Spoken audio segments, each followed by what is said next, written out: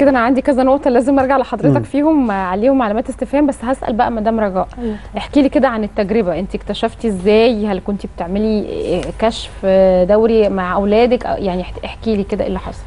أول حاجة اكتشفت إن ابن أسامة عنده ال- المرض ده وعنده أربع سنين. فبدأنا في رحلة العلاج. ده مرض إيه بقى يا مدام رجاء؟ وراثي مثلا ولا ده أيوة. فيروس؟ أيوه. آه عبارة عن إيه بقى المرض ده؟ آه، نقص إنزيم اسمه ألفا 1 أند تريبسين. تمام مم. تمام. وبعدين؟ آه، فضلنا نستمر في رحلة العلاج والدكاترة طبعا كانت آه، موضوع العملية ده شيء معقد جدا وفوق آه، قدراتنا المادية. فبدأنا آه، يعني نمشي بالعلاج فترات طويلة لغاية ما ربنا أكرم المنصورة طبعا بالصرح العلمي العظيم بقيادة الدكتور محمد. يعني ده كان من ح- من يعني من حسن حظي أنا وعيالي إن ربنا يكرمنا بحاجة زي دي. مم. فطبعا مشينا في موضوع ملف العملية والحمد لله أسامة عمل العملية وبخير. أسامة بقى عمره كام سنة دلوقتي؟ أسامة عنده 25 سنة. ما شاء الله. تمام. وك... و... وعمل عملية وهو عمره كام يا مدام رجاء؟ يعني من حوالي ثلاث سنين كده. مم.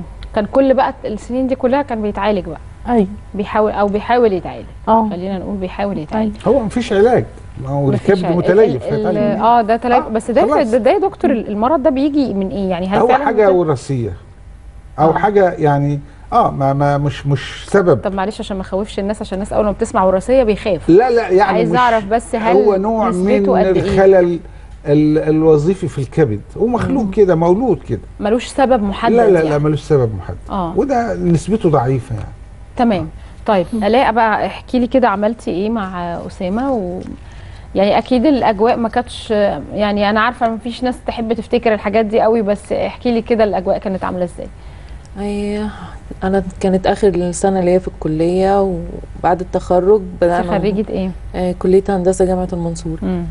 آه، فبعد بعدها بدأنا نخلص في إجراءات الملف والدكتور محمد وقف جنبنا بصراحة في إن نعجل بموضوع العملية عشان امتحاناتنا وكان أخويا عنده امتحانات والحمد وكان برضو حالته الصحية متأخرة فالحمد لله أجرينا العملية وقام بالسلامه وكمل امتحاناته ودخل الامتحانات.